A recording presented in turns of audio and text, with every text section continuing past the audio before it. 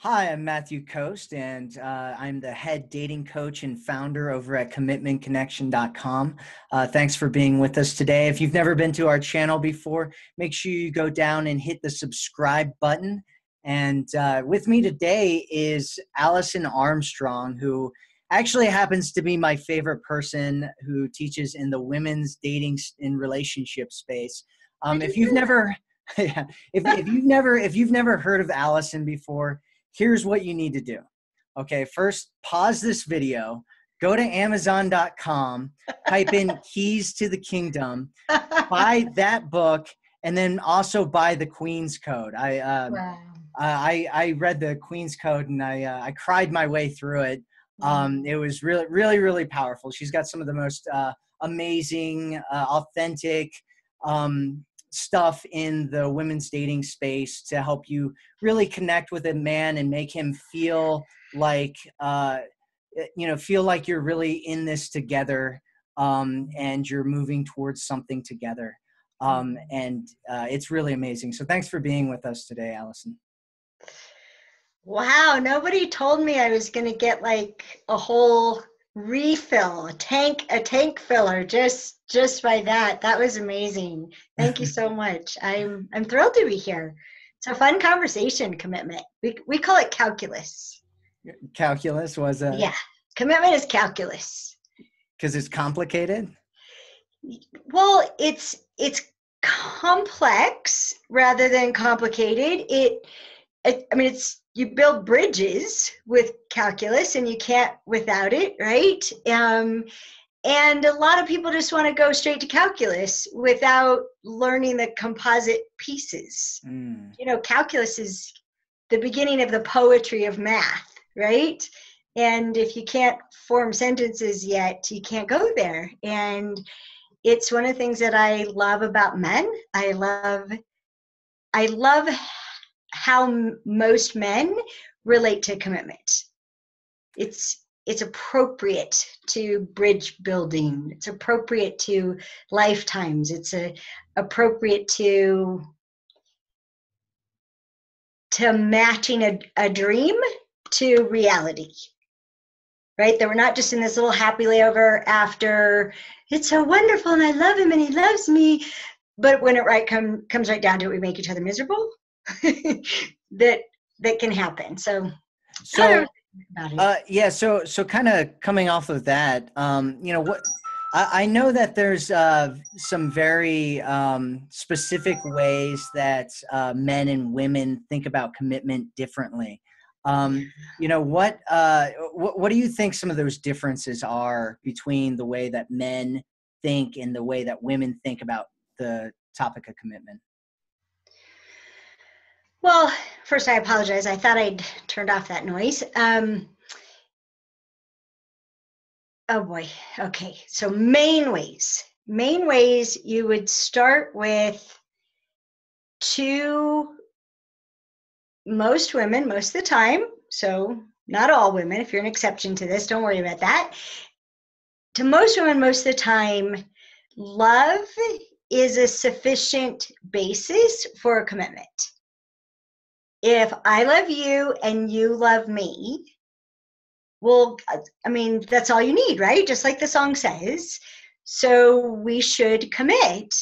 And how can you say you love me and not be willing to commit? If you're not willing to commit, you must not love me.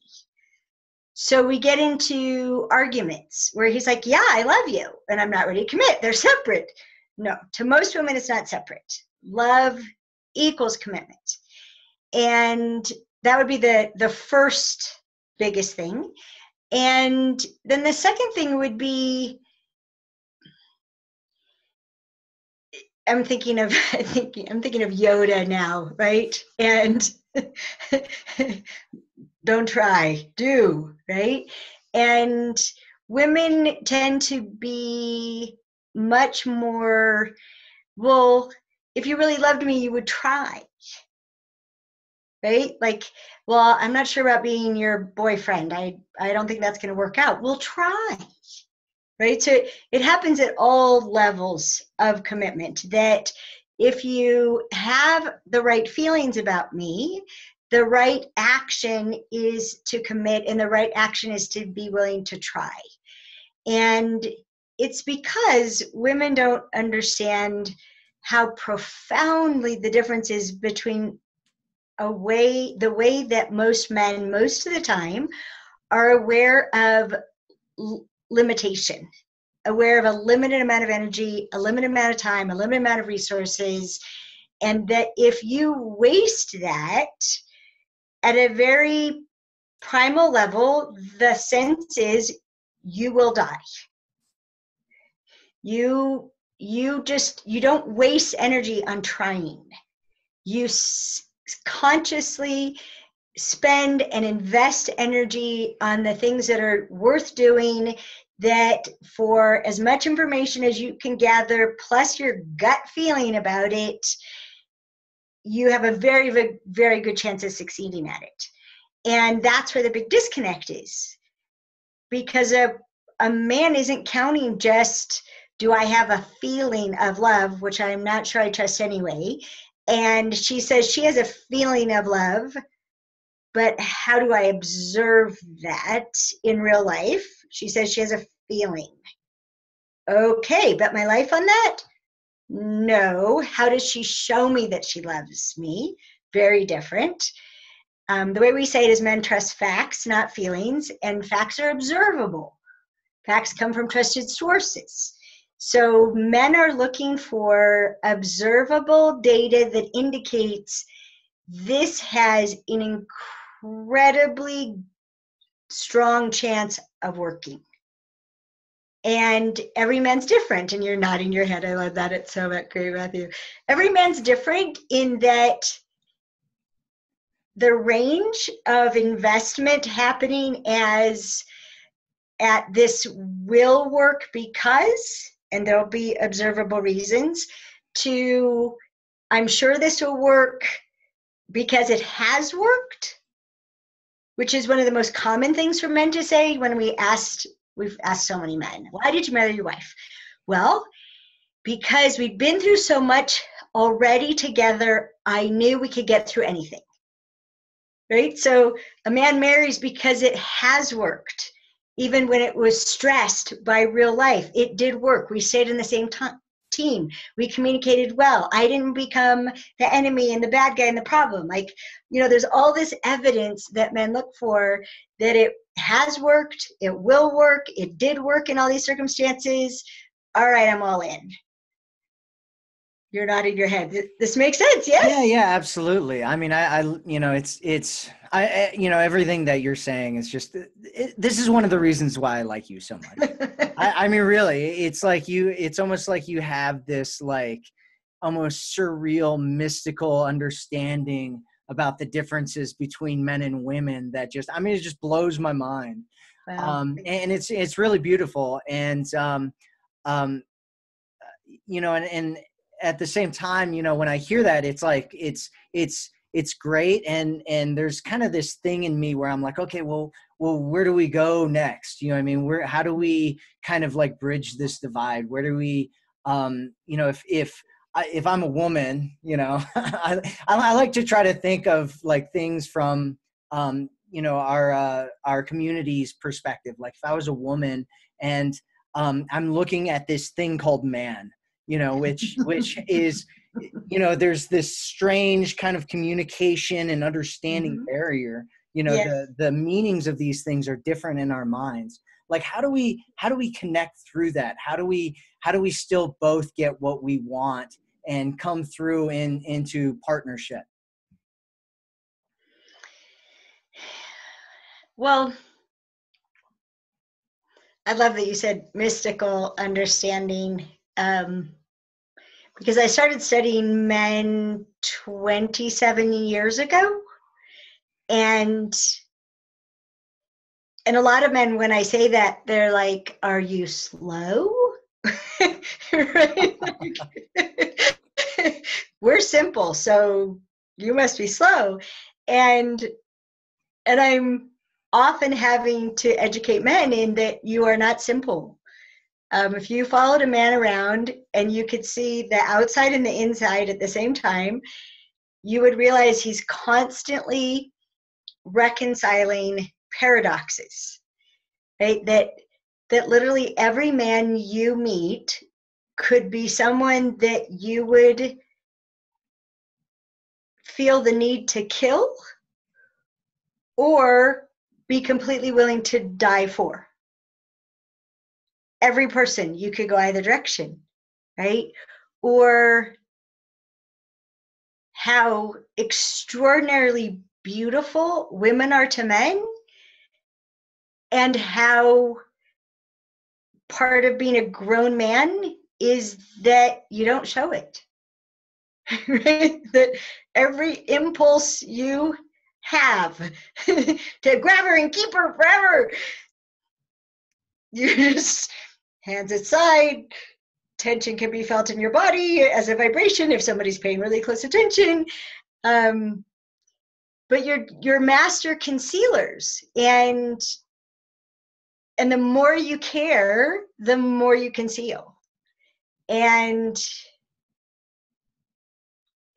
what i try to do to bridge the gap is to to teach women how to see someone who's so different right? Stop expecting a man to act like a woman or a woman to act like a man and actually you know get the wax out of your ears and pull the blinders off your eyes and be curious right? Be curious about men be curious about women be curious about this man this woman right?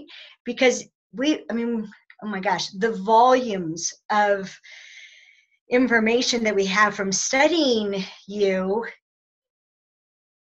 we we can we have come up with some conclusions. And I, I mean i think you're mentioning keys to the kingdom and the queen's code is because some of our most important conclusions are in the stories. And then every man there's a customization. Like we teach women how to ask a man for what she needs and it's printed out in a handout we tell her take it to him. And say okay these are the steps and if i was doing this the way that worked for you what what would it be like? And it's funny, Matthew, because we've had men go, it could not possibly take nine steps to tell a man what you need. That's ridiculous. And then as we go through each step and talk about what happens if you don't do it, they just nod their heads and nod their heads. And, okay, I guess you actually need all those.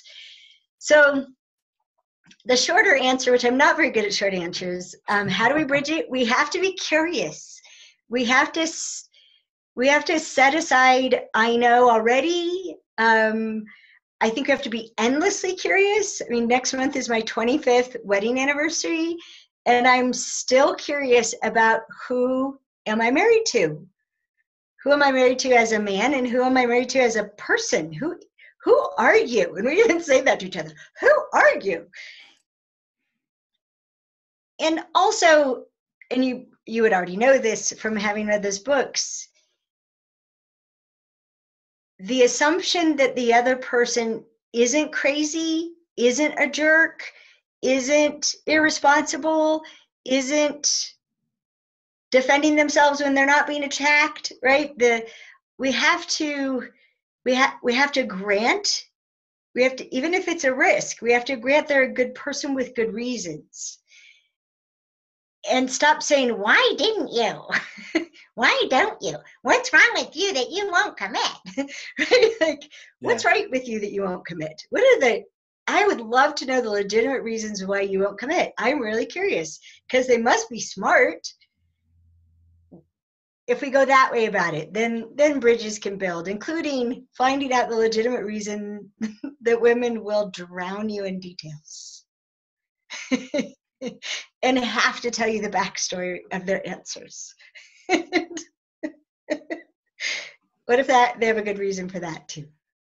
Yeah, I you know, um man, that that was great. Well said. Um it, it's uh you know, the thing that I really like about what you just said is it's um it, it's this perspective shift, you know, and it's mm-hmm. this this new way of looking at things where um, you know, it, it's funny being in the the women's dating space because it's like, um, uh, you, you know, when I first kind of got in here, um, and one of the reasons why I was drawn so much to your work uh, was because uh, a lot of it's kind of this manipulative, like, you know, I'm to get what I want. We have to fight each other, you know, until uh, one of us breaks and, you know, I get what I want or, you know, like, or I end up leaving or something, you know, I mean, something crazy is to happen here. And, um, you know, when, when we take a second and we think about this other person, it's like, okay, well, this person has, um, you, you know, uh, theoretically anyway, they've got good intentions. You know, most people, I think, what what we what we really want,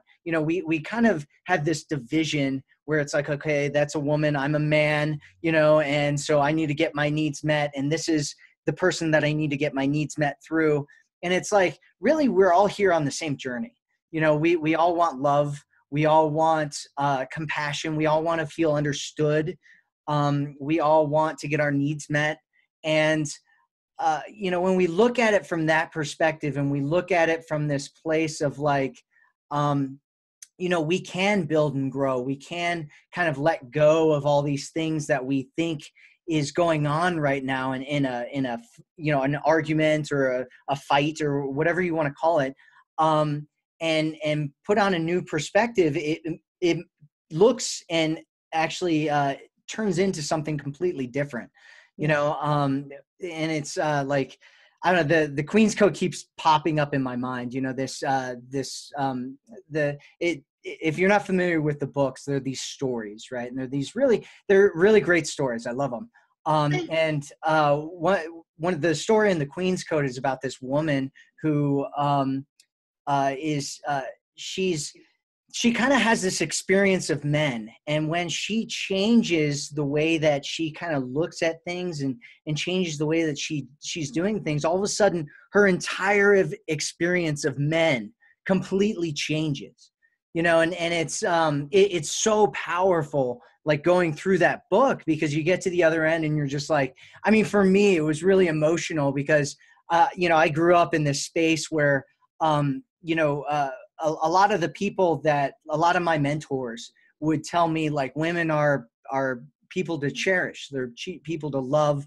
They're people that are just this beautiful amazing thing on the planet and you you need to love them you know? And then i get into relationships and all of a sudden next thing you know i'm getting cheated on you know? Like you know all these all these things are happening you know? And, and it's warping my perspective of what's going on. And you know uh, we, I think everybody I've ever talked to is has had heartbreak in their life. You know, and and we come out of this heartbreak and and we have this jaded perspective of of how things are. And if we keep holding on to this um, perspective that we created, um, it, it uh, we find that it doesn't end up serving us and we get into these patterns and next thing you know we're you know we're we're going out there and we're trying to find a person but everybody's you know a bad person or or we're we're in this relationship but you know he's using me you know and and it's um uh, you know I, what i what i love about this work is that there's um what i love about your work is that there's kind of this barrier to drop and this new space to come from and this new view of of men to have um and that from that perspective I think that there's something great that can come from it. And I think that if we don't take on a perspective of partnership, if we don't take on a perspective of, um, uh, you know, wanting to build this together, and we're holding on to this thing of I gotta get, you know, I gotta make him, I gotta, you know, force and coerce, and you know, like just, just beat him down until finally he, you know, submits to me. It's it's painful for everybody you know, and, and it's not a long, it's not long-term thinking. Um, you know, congratulations on your, your uh, 25th year anniversary. That's really awesome. Yeah. Um, and, uh, can I tell you where a lot of that comes from, Matthew? Yeah, go ahead. Okay. Since we don't have very much time, are you familiar with the term reticular activator? I, I am. Are you talking about the thing in your mind where you see something? Yeah, it's the quality of our brain where it's searching for our own intentions.